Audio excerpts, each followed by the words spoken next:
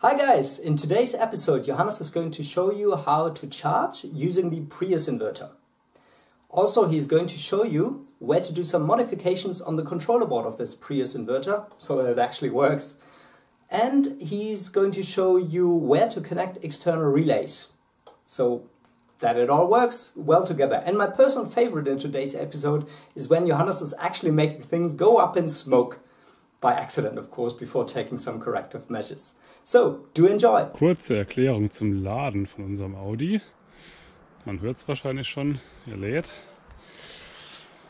So, und zwar habe ich hier jetzt vorsichtshalber erstmal mein äh, Labornetzteil angeschlossen. Das liefert gerade 60 Volt und knapp 12 Ampere. So, und das geht hier rein in den ehemaligen Wechselrichter vom Klimakompressor. Und das ist ja dann auch der Gleichrichter. So, jetzt muss ich noch mal was basteln hier. Und zwar der gleichgerichtete Strom kommt dann hier so hoch auf diesen dünneren der beiden Kabel. Mm, und es ist halt serienmäßig nirgendwo ein Stromsensor, um den Ladestrom irgendwo mal zu messen. Und den habe ich jetzt hier reingebastelt. Äh, ja, der wird hier ganz normal mit 12 Volt versorgt. Und das Signal geht dann auch über unser graues Kabel hier zum Wechselrichter. Ja, also zum Controller meine ich. So, den klappen wir auf. Den habe ich nämlich auch leicht modifiziert. Hoppala. Jetzt haben wir hier noch eine Modifikation an unserem Prius-Board gemacht. Und zwar wollen wir ja laden über den Wechselrichter vom Klimakompressor und in diesem ganzen Strompfad ist nirgendwo ein Stromsensor. So, und deswegen habe ich jetzt hier einen externen genommen. Ich hätte auch einen anderen nehmen können, aber der hier lässt sich mit 12 Volt versorgen. Das heißt, ich muss nicht extra eine 5 Volt Leitung in den Wechselrichter legen. So, und der geht jetzt hier über dieses grüne Kabel. Wir haben hier vier Stromsensoreingänge. Die gehen aber beide an die gleichen äh, ADCs. Also genau, also jeweils zwei Eingänge teilen sich einen ADC. Ähm, das ist, äh, wenn man jetzt den zweiten MG1 Wechselrichter zum Laden nimmt, dann fließt er nur im Ladefall dort wirklich ein Strom drüber. Und im Motorfall fließt eben der Strom über die MG2-Sensoren und also ist immer nur einer von den beiden Eingängen wirklich aktiv. Wenn wir jetzt diesen Stromsensor aber in den DC-Pfad machen, dann ist, fließt da ja immer irgendein Strom. Und diesen Strom möchten wir nicht sehen, wenn wir nicht im Ladefall sind. Und deswegen habe ich jetzt hier ein Relay rein gebastelt, das sozusagen diesen Eingang hier unterbricht, wenn wir im normalen Fahrmodus sind und ihn schließt, wenn wir im äh, Lademodus sind. Dann ist hier noch ein 100 Ohm Widerstand, das ist eine sogenannte Bürde, also eine Belastung für diesen Stromsensor, gegen die der dann arbeitet. Ansonsten gibt er keinen Wert raus. Hier unten drunter, ich hoffe mal, es fallen jetzt keine Kabel ab.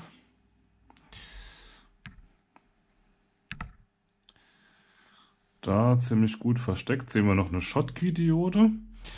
Und zwar sind das hier die, der Vorwärts-Rückwärts-Eingang, die habe ich hier schon mal kurz geschlossen. Äh, die benutzen wir, um zu signalisieren, dass wir jetzt im Lademodus sind. Also kommen jetzt, wie es hier auch angeklemmt ist, 12 Volt an Vorwärts und Rückwärts gleichzeitig. Die schalten dann zum einen das Relay da an und zum anderen werden diese 12 Volt auch über die Diode auf unseren, was normalerweise der 12 Volt Eingang ist, rübergeschoben. Äh, das heißt, wir versorgen jetzt äh, das, das Auto sozusagen über diese Diode mit den 12 Volt, damit es laden kann. Dann geht äh, der Strom, nachdem er dann äh, hier von dieser Elektronik Strom geregelt wurde, hier über dann unsere ganz normalen DC-Leitungen hinten zum Akku und wird dort eingespeist. So, dann gibt es ja noch das war jetzt der Leistungspfad. Dann gibt es ja noch den Informationspfad. Der geht quasi andersrum. Hier unten sitzt ja das BMS. Und das rechnet halt aus, wie viel Ladestrom die Batterie im Moment gerade verträgt, abhängig von Ladestand, Temperatur und was weiß ich was. So, und diese Information wird dann hier an die VCU geschickt. Die VCU bereitet das Ganze nochmal auf, macht dann nochmal ein Stromlimit drüber und schickt es dann wiederum per CAN hier vorne an den Controller und der setzt es dann um. So einfach ist das. Jetzt gehen wir mir langsam mal die Ladetechnik an.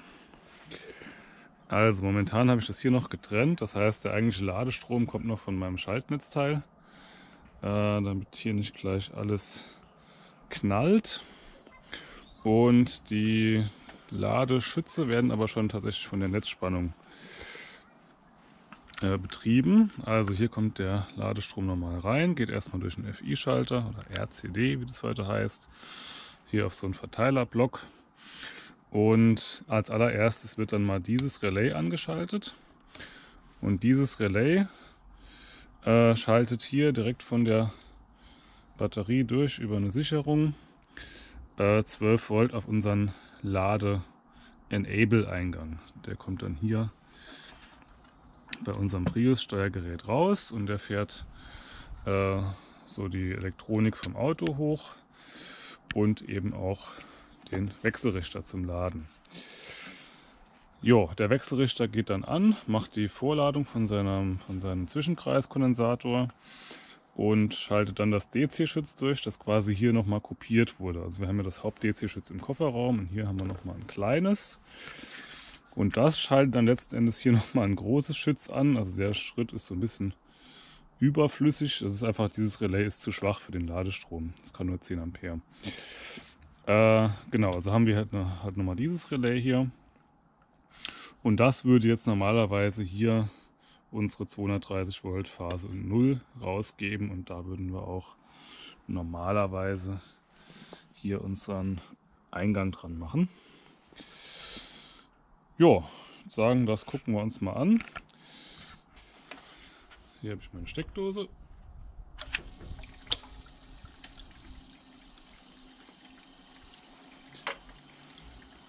Das hat jetzt also alles durchgeschaltet. Und hier müssten wir jetzt gleich den Ladestrom hochfahren. Da kommt er schon. Jetzt nochmal mit richtiger Spannung.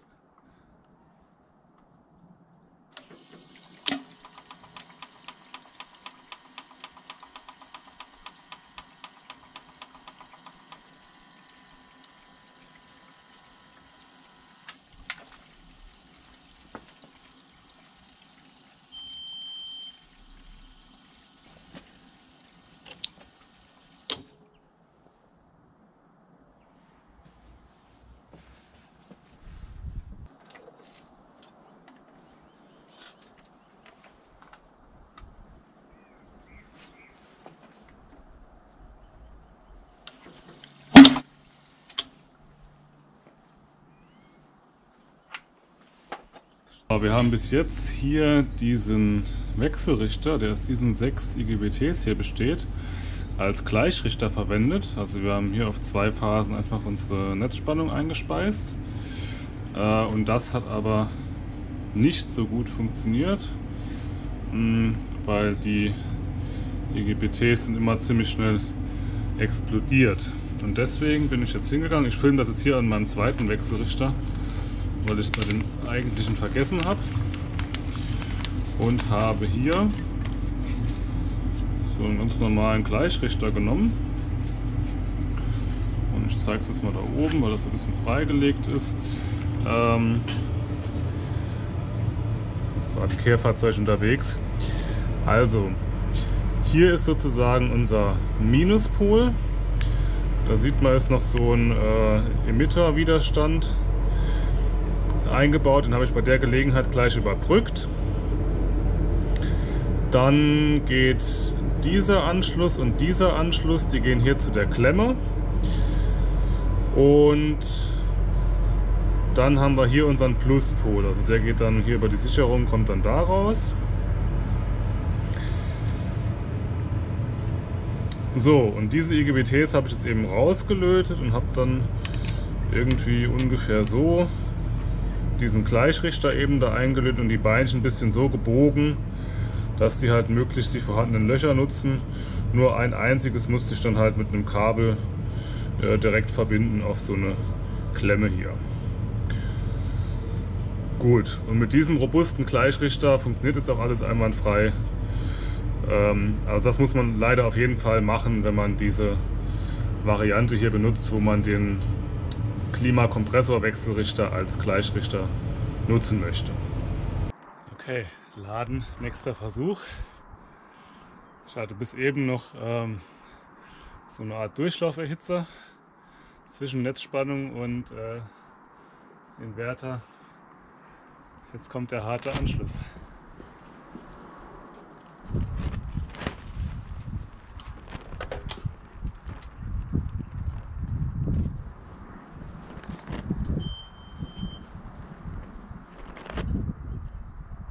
Okay. Überraschung. Also, DC-DC-Wandler läuft. Der wird jetzt sozusagen direkt von den gleichgerichteten 230 Volt gespeist. Und geladen wird auch. Okay, sieht noch ein bisschen komisch aus. Das ist der DC-Strom. Das sah vorhin mit dem Heizungselement hübscher aus. Das wäre es dann erstmal zum Thema Laden. Also wie wir sehen, am Ende hat es ja funktioniert. Hm, der Leistungsfaktor äh, ist noch nicht, also diese komischen Peaks, die man da gesehen hat, ähm, das ist noch nicht so optimal, aber es ist auch jetzt nicht so wirklich schlimm. Der Leistungsfaktor beträgt bei voller Leistung 0,8. Ja, nicht super, aber kann man mit leben. Es liegt wahrscheinlich daran, dass der Stromsensor, den ich eingebaut habe, einfach zu langsam ist und uns so ein phasenversetztes Signal liefert und dann können wir keine Leistungsfaktorkorrektur wirklich sinnvoll machen. Jo, aber ansonsten bin ich jetzt äh, ganz zufrieden damit und damit würde ich dieses Thema abschließen. Danke fürs Zuschauen und bis später.